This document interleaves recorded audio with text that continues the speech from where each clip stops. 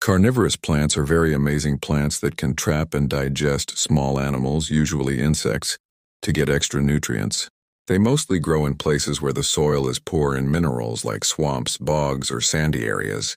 To survive, they've evolved special adaptations to catch prey. Main types of carnivorous plants 1.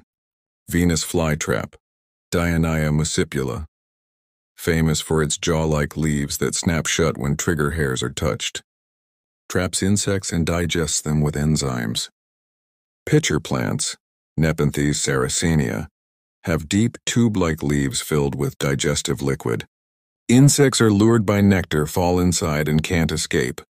For sundews, Drosera covered with sticky, glistening tentacles. Insects get stuck, then the plant slowly curls its tentacles around them. First bladderworts, Utricularia.